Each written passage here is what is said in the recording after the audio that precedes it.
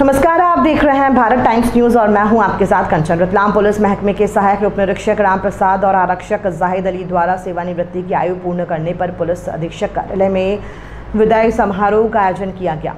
इस मौके पर पुलिस अधीक्षक रतलाम श्री राहुल कुमार लोढ़ा डीएसपी रतलाम श्री अजय सारवान, रक्षित निरीक्षक श्री मोहन भर्रावत ने दोनों शासकीय सेवकों की सेवा की सराहना करते हुए उनके भावी जीवन की शुभकामनाएँ दी। पुलिस अधीक्षक द्वारा परिवार की जानकारी देते हुए अच्छे स्वास्थ्य और आगामी जीवन की शुभकामनाएँ भी दी गई। विदाई समारोह कार्यक्रम का संचालन मुख्य लिपिक श्रीमती अर्चना आमेरिया द्वारा किया गया। सहायक उप निरीक्षक राम प्रसाद पिता, बजरंग लाल द्वारा सैंतीस वर्ष, नौ माह, उनतीस दिन और आरक्षक जाहिद अली पिता सैयद वाहिद अली द्वारा उनचालीस वर्ष तीस दिन पुलिस विभाग में सेवा देकर आज पुलिस विभाग से विदा हुए।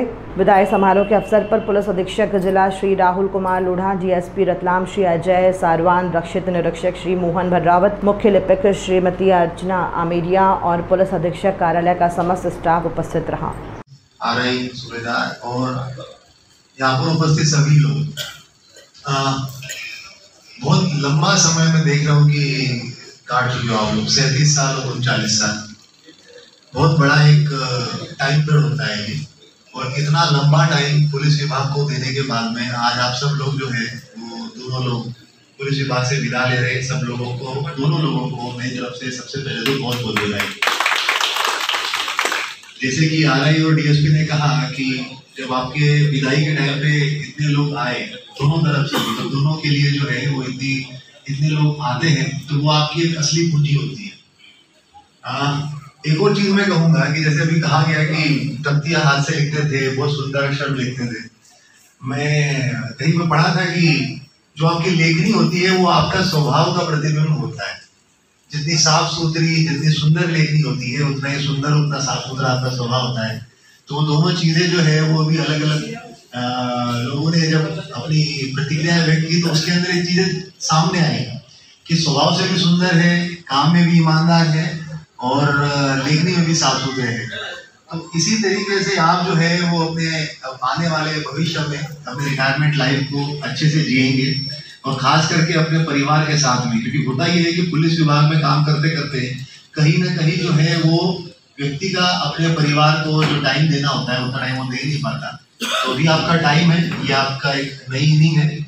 आप लोग अपने परिवार के साथ में एंजॉय करिए।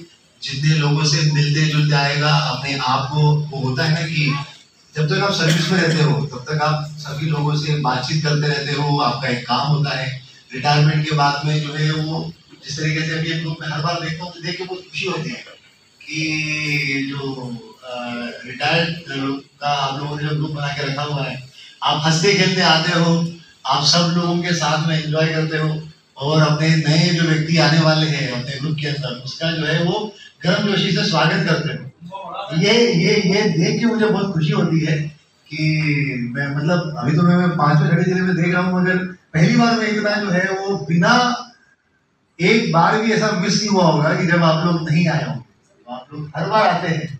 ये बहुत अच्छी बात है।